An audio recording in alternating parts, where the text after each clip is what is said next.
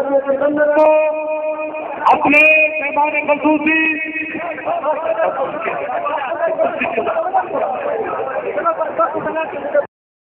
हम हैं सेल के और जब पाकिस्तान आज़ाद हुआ तो ये हमारे पनाह लेने के लिए जरा पनाह का दिन है। हम इसको पश्चिम ज़ुबान पनाह का दिन के हिंदुस्तान में छूटे कहा के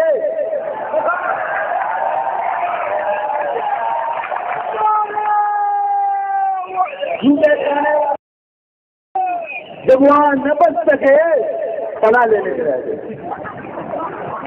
हमारे साथ पना देने वालों को तुम अब कहते हो कि आप गैर मकामी है।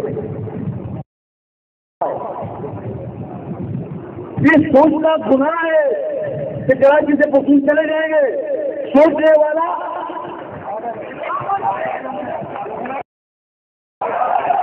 पागल है सोचने वाला पागल है। और पागल को पागल हाने में जो ऐसा उसके मुँह पे छेमा